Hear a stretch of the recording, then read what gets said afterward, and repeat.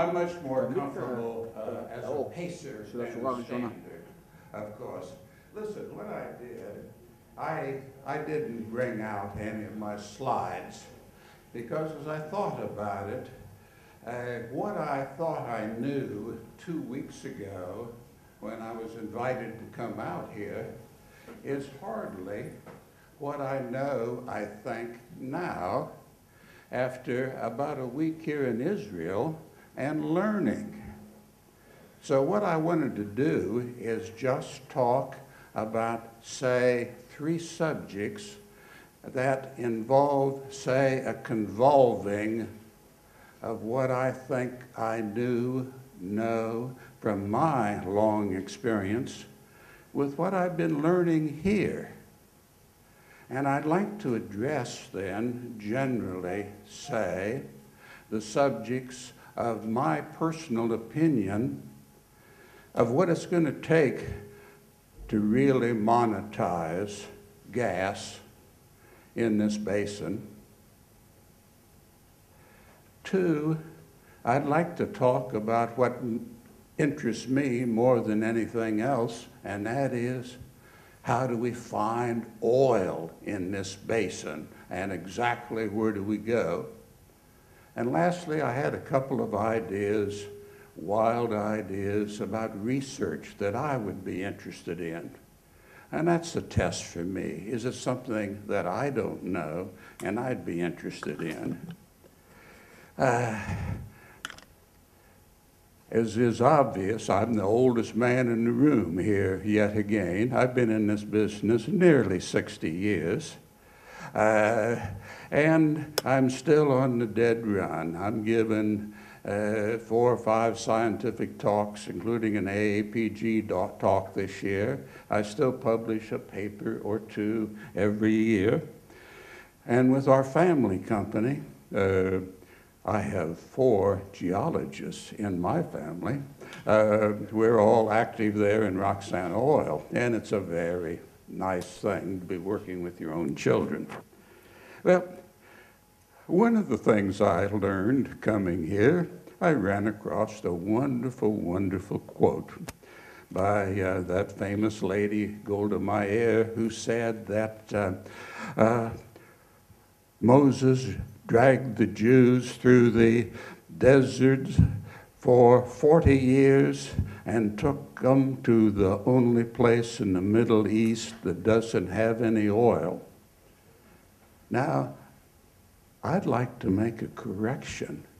Moses found the promised land. That was his job. It's our job to find the oil, kids. And that's what we're going to be doing. Now, I have no experience in developing gas in deep water. Almost no one does.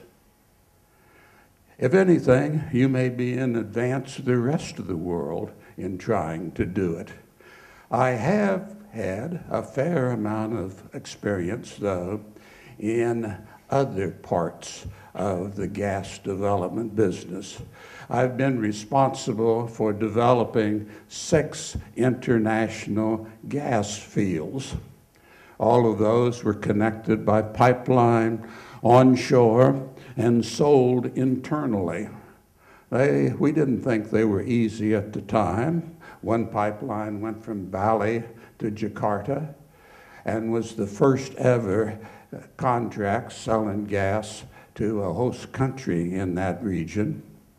Can you imagine when I go to see the petroleum minister and tell him that we're going to be asking him to pay $6 a thousand for 4 trillion cubic feet of gas? I thought he'd say, Thank you, Mr. Downey. He said, You're, You are going to be selling me my gas? And because you're going to have those problems because the hard part isn't finding gas. I hate to say it, even with my wonderful people from Noble here, Finding gas is easy. Developing gas in deep water is very difficult. And if you want to talk difficult, try selling it to another country.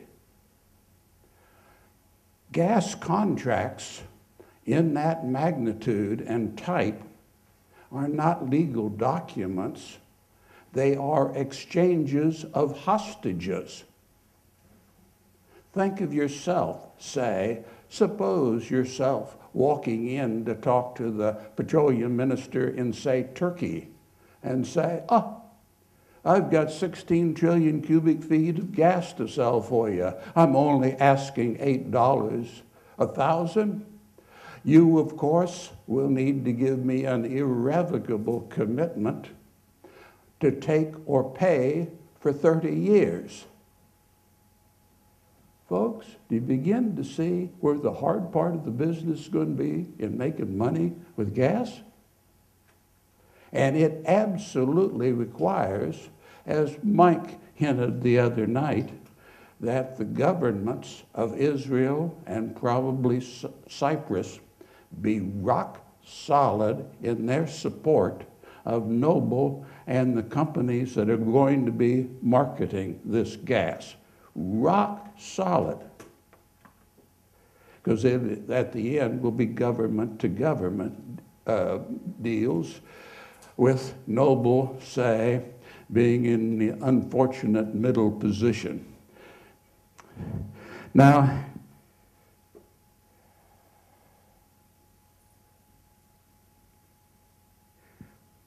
One reason why these things are exceptionally difficult is that the costs are likely not engineering costs.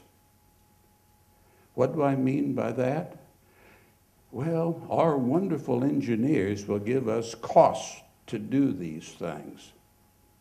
But when you're in the middle of international negotiation, country to country, delays are routine.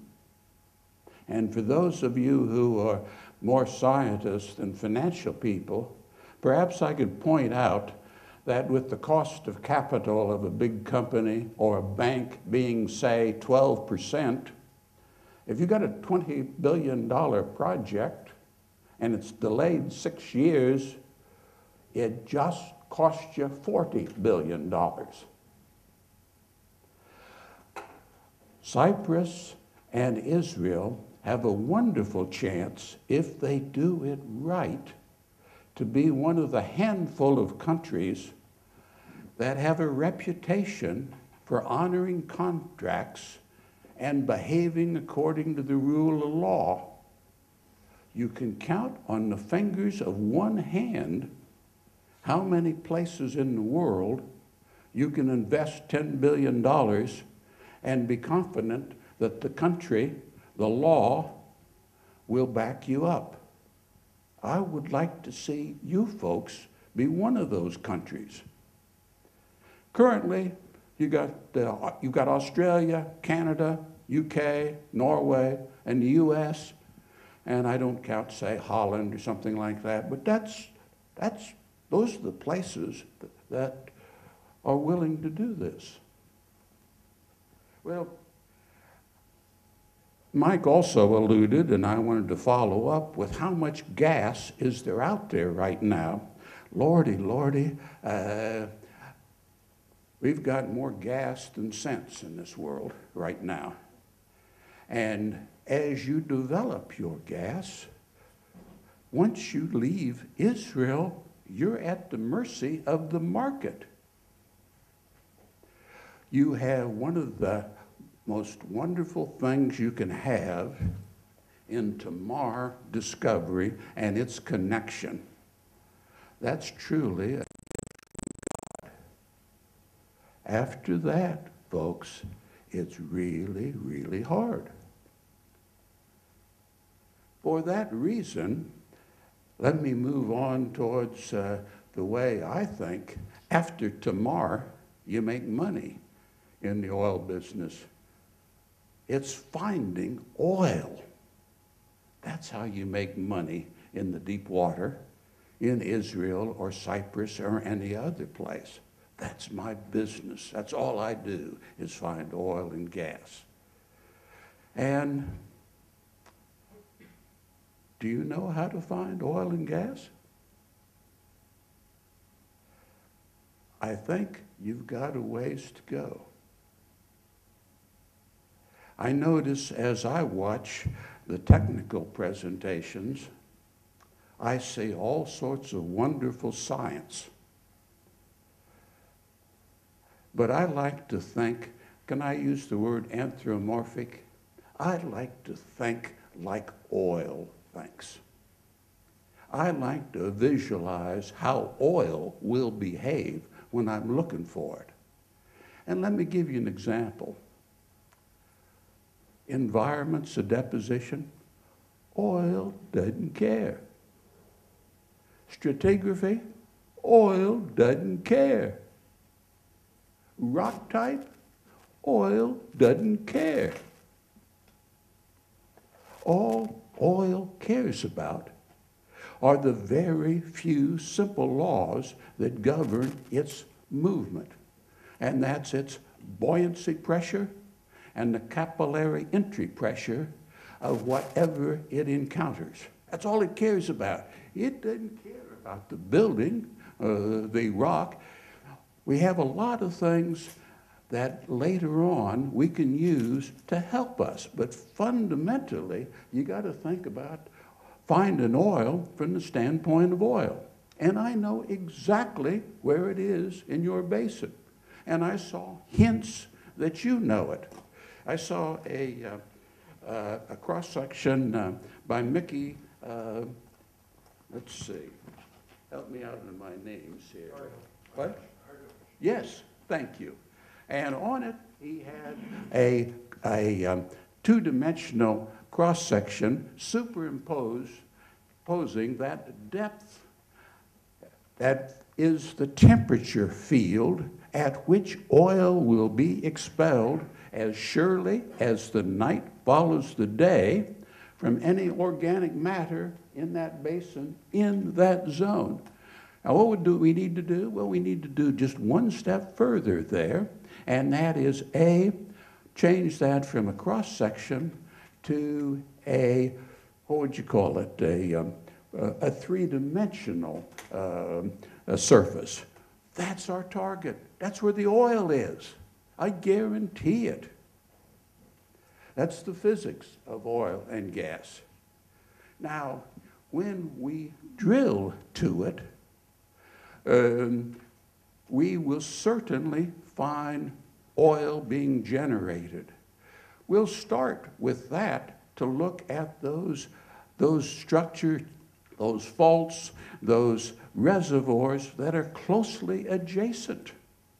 It won't be far away. Lordy, we're almost lack, we're lacking an astounding amount of oil shallow. This is not the Gulf of Mexico, in which oil is as common shallow as it is deep. The oil here is deep. It ain't where you want it to be. Oil doesn't play hide and seek, nor does it go to where it's easy for you. It only goes where it's generated, and it'll be deep in the basin. Uh, and since um, I have heard only the same things you have, I think I can tell you that my interpretation of the little bit of data that I have heard, I think that our friends at Noble have drilled that, have encountered that, and I'd be willing to bet any of you a substantial sum of money that they have penetrated, pressured gas and oil in at least the source rock that we're looking for. I'm waiting for the rest of you to get smart and do that kind of drilling. Uh, lastly, I don't want to drone on here, kids. Uh, uh, let me mention some odd things that I'd be interested in if you have uh, any of your grad students uh, need something to do. Uh, I'm surprised how little work we're seeing on um, these immense uh, bacterial gas uh, deposits that you have. Uh, you know, I've developed those around the world, uh, uh, but uh, uh, what I haven't ever understood is why we have more gas in some structures than others. I'd be interested if some bright people would show me how you actually sweep, accommodate, um, uh, compact, focus bacterial gas in, say, Leviathan.